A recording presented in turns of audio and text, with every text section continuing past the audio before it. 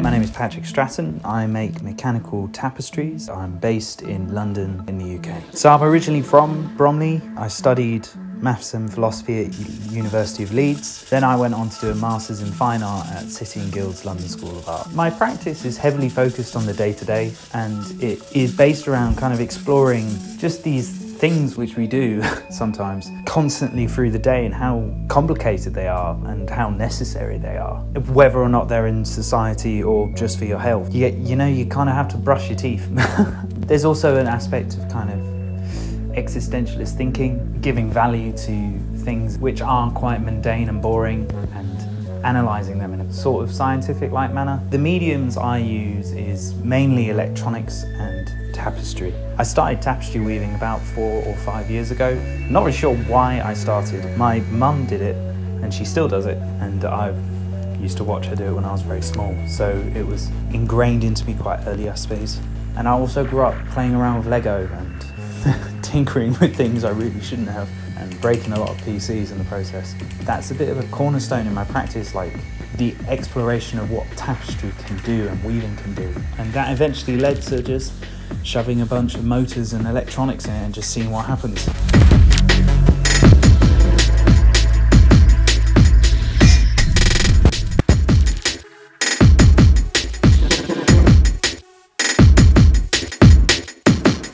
My name is Cassie Arnold, and I am a conceptual artist that uses fibers as my primary medium.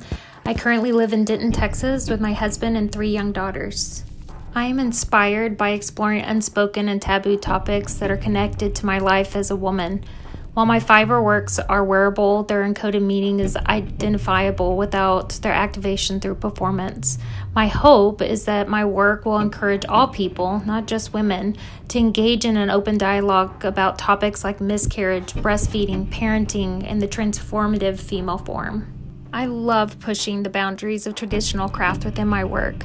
By using techniques such as hand knitting, I hope to change the cultural narrative of women's work and ultimately push back against stereotypes surrounding females, their bodies, their capabilities, and their lives. Alternatively, I feel like textiles are nostalgic and familiar, making the article itself less abrasive and more inviting to start a conversation over. Being shortlisted for the Art Prize has been such an honor. I was so blown away by the artists who applied this year, and honestly, I still feel a bit in shock that my work was chosen as top 30.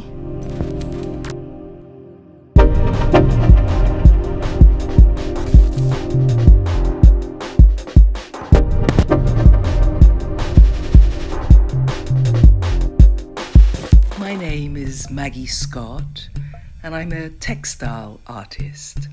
I work primarily with fibers and I make felt. An activist is someone who cannot help but fight for something. That person is usually not motivated by a need for power or money or fame, but in fact driven slightly mad by some injustice or some cruelty or some unfairness. And that's exactly what inspires me, if you like. I'm driven slightly mad by some particular subject, some cruelty, some unfairness. And that motivates me, that inspires me, that gives me the subject of what I want to work on. My practice has several elements to it, really you know, making felt the kind of felt that I do, which is called Nuno felting. It's where I create an image which is printed onto silk, usually onto silk chiffon, and silk allows me to place fibers and encourage them to enter into the silk. So, if you like, I paint with fibers, but I paint based on an image that I've already created, which is printed on the silk.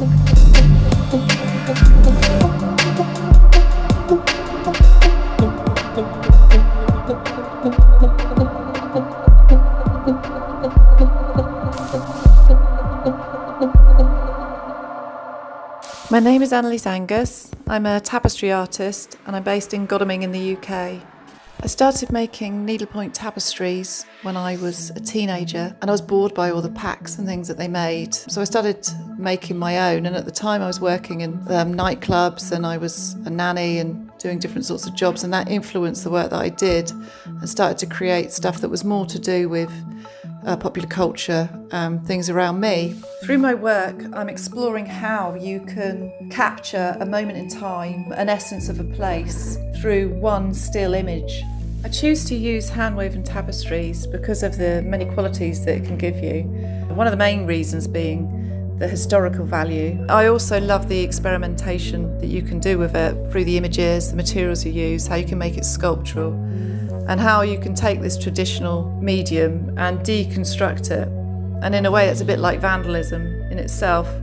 Those individuals that spray paint a word on a wall and an act of defiance. It's the same feeling for me when I pull apart a tapestry or bring something into it that's not normally there. I feel like I'm, I'm pushing against something that's very traditional and set in stone. And in the same way, I love the idea that I'm taking a fast, uh, rebellious, impermanent mark that someone's made on a wall and transferring it into using a time consuming technique such as tufting that's going to be there forever.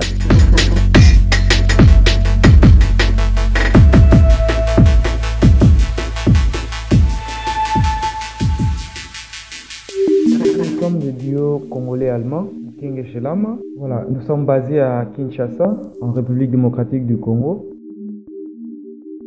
We are both formed as painters, but we also use performance. We use digital art today that makes us a lot flexible, which is necessary because we are moving in very different spaces between two continents. There are not a lot of galleries in Congo, so therefore it's very nice here to do stuff in the public space as performance and street art. Whether in Germany right now, digital art is very important. Voilà, cette année nous avons développé aussi des vidéos, collages dans des vidéos avec peinture et dessin. Et nous avons aussi développé le, le monde virtuel, c'est-à-dire travailler avec la réalité virtuelle et.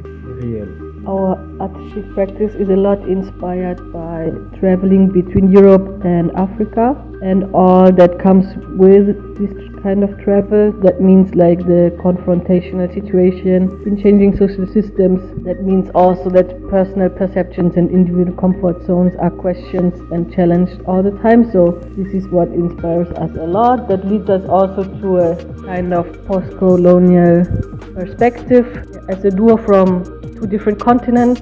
People always tend to interpret our work based on our nationality. Therefore, we develop this kind of specific collaboration where we work as a duo together on the same support. Nous, on co-signe des, nos peintures sont co-signées ou notre travail en général est co-signé. C'est parce que nous évitons ces problématiques et problèmes d'origine géographique dans, dans le travail artistique. This way we can avoid be represented because of our nationality.